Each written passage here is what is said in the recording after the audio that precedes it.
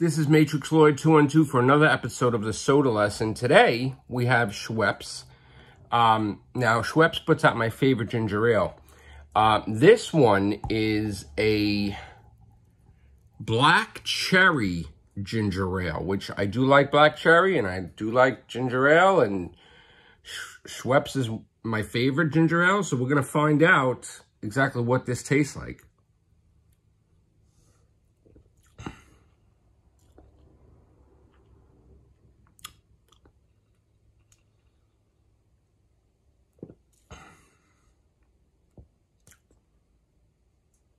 I do like this. Good.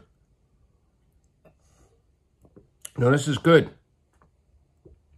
This I could buy. This I would buy in house. This is good because you don't know what to think of it. it. Tastes like both. You can't distinguish like it's ginger ale and black cherry mixed together, but it tastes good. I you would think sometimes you mix stuff it wouldn't taste good, but mm. No, this I would buy in my house. This is this is excellent. This is really good. Wow. What an idea, huh? Who would have thought of that? Mixing that stuff. This is good. Like I said, I love ginger ale. I love black cherry. Both together? Wow. Mmm.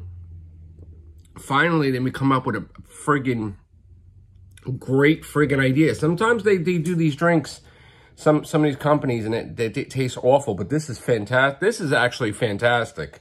Wow. I'm impressed. I'm very happy. Wow.